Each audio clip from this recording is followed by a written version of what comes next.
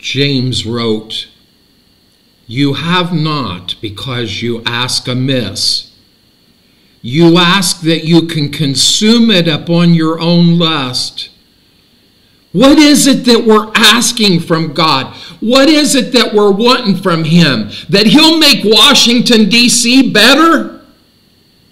That He'll let us win an election and everything will be fine? That we'll have more money in our pockets? What is it that we're asking God for?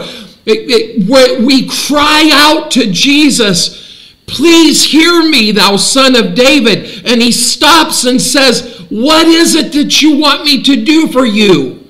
Oh, give me popularity and make more people watch my videos and listen to my what? What is it that you want me to do for you, Mike? Break me, God. Kill me. Kill who I am. I'm not talking about physical death. I'm, I'm, talking about the death of the attitude that brings me to the place that I can openly rebel against the God that has done so much for me.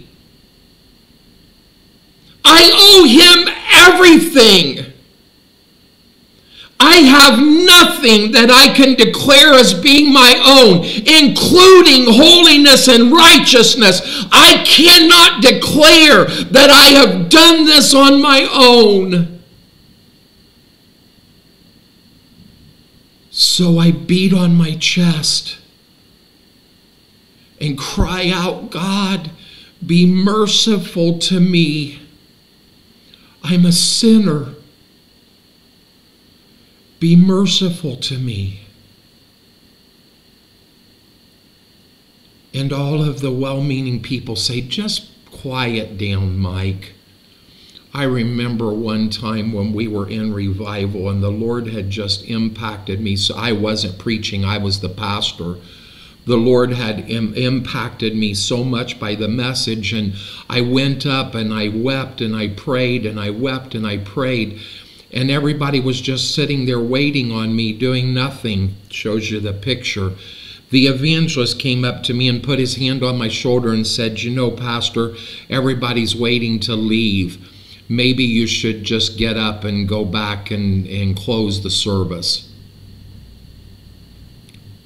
And I did.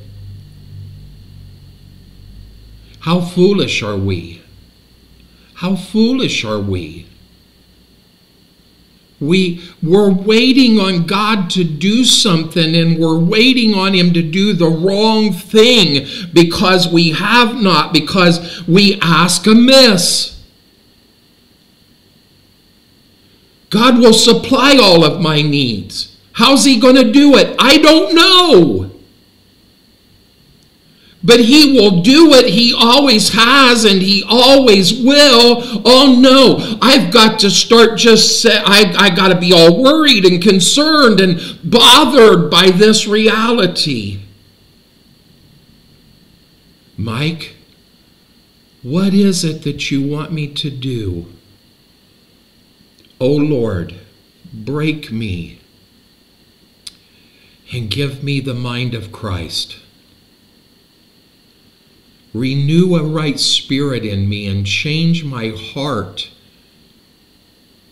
because I'm not so concerned about the things that I do wrong as I'm concerned about the motive of why I am doing it.